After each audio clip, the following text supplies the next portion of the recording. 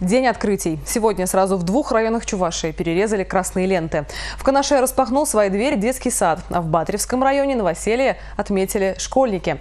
Мои коллеги успели побывать на обоих праздниках. Дмитрий Ковалев продолжит тему. Двери в страну знания эти ребята открывают на месяц позже своих сверстников. Но настроение это не омрачает никому. Детских садиков в Канаше не строили давно. Спустя 22 года на окраине города для дошколят возвели настоящий дворец. Большой музыкальный зал, бассейн, современное оборудование, новая мебель. Такой комфорт обошелся бюджету в 120 миллионов рублей. Конечно, рады, потому что уже ребенку три года, считай, даже на работу не устроишься. Конечно, мы рады, что дети у нас здесь сейчас ну, учатся.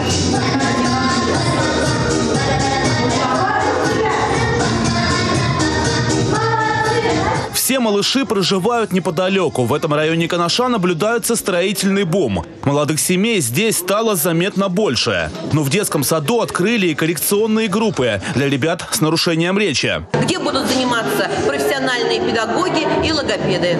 Самая младшая группа – 11, 2011 года. Им от э, год 8 до 2,5 лет. Таких групп у нас будет 6. Через порог этого дворца переступили почти 300 малышей. Очередь сократилась заметно. Ребята старше трех лет местами в детских садах обеспечены полностью. Но отчеты местных властей глава республики решил перепроверить у родителей.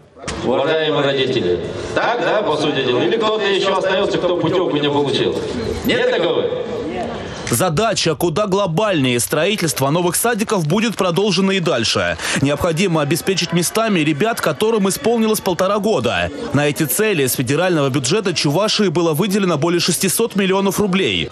Современные образовательные технологии для сельской местности уже не в диковинку. В деревне Татарские Сугуты сегодня открылась новая школа. Директор.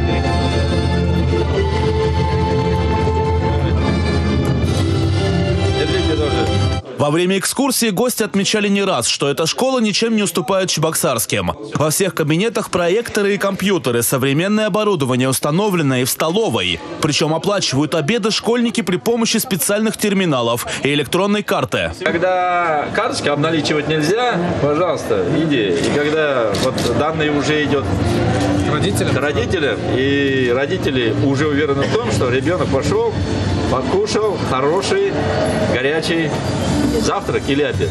Хотя фору поварам в этой школе может дать каждая девчонка. Готовить их учат на уроке технологии. Учителя не без гордости отмечают, что из учениц подрастают неплохие хозяйки. Глава республики поставил задачу быть лучшими во всем. Хотя в таких условиях учиться плохо просто невозможно. На строительство школы было выделено более 140 миллионов рублей. Теперь здесь есть просторный спортивный зал, баскетбольная площадка и даже хоккейная коробка. Дети обещают радовать рекордами. Ну, теперь вы должны дать спортсменов, профессионалов уже. Будет, да? Будет? Сделаем, девочки. Михайлович, самое борцовское село у нас.